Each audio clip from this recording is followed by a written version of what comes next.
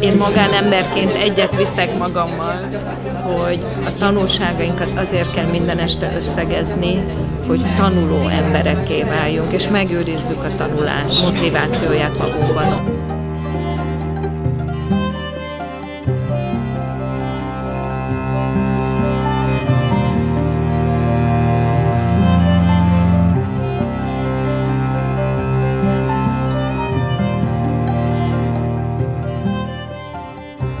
Volt azt hallani, hogy ugyanazt a kérdést hány szögből közelítettük meg, mindenki más székből, de hogy mindig ugyanarra jutottunk. Nincs egyoldalú kommunikáció, és nincs egyoldalú támogatás kérés.